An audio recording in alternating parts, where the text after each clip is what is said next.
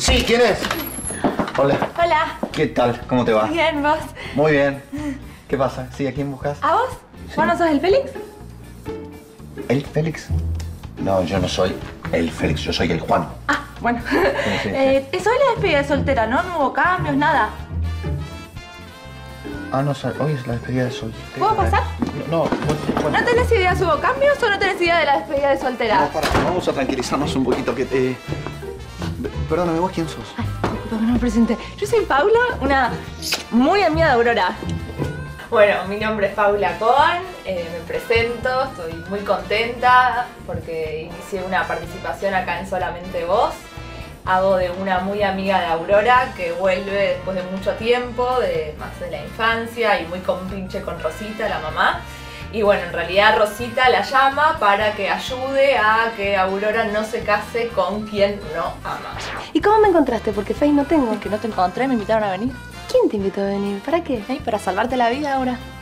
¿Me estás tomando el pelo? Hay dos opciones. O te salvo la vida o te la arruino para siempre. ¿Cuál? Viniendo de vos seguro que la segunda. Mirá que no vine a pelear, ¿eh? No, ¿de qué viniste? No te hagas la misteriosa. ¿Por qué no te tranquilizás y nos calmamos un poquito porque te pones loquita? eh? Vos me estás poniendo loquita. Me llamó desesperada tu mamá para que viniera a darte una mano. ¿Mi vieja para qué? Yo no necesito una mano y mucho menos de vos. Mm, pero Rosita sí.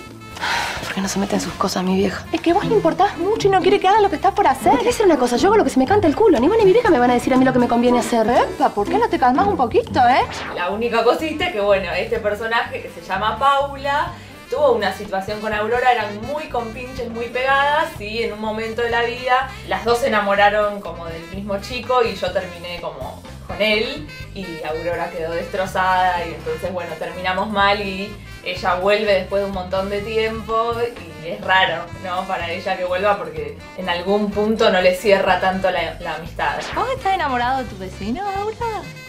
¿Y de cuándo vos sos mi amiga del alma que te tengo que contestar? Ay, no me conteste, no me conteste. Se te nota la legua. Siempre tuvimos el mismo gusto. ¿Qué decís, forra? Que si yo estuviera en tu situación, también estaría muerta por el churro de tu vecino.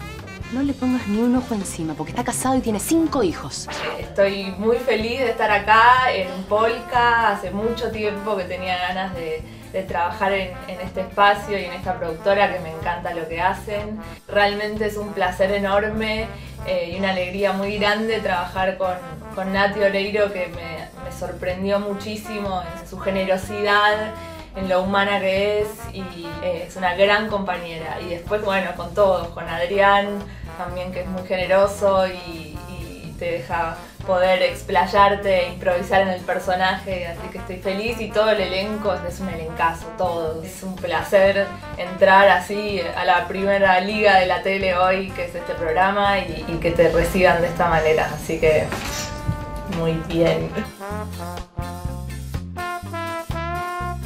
Le mando un beso enorme a toda la gente que sigue la página de Canal 13, que son un montón, lo sé.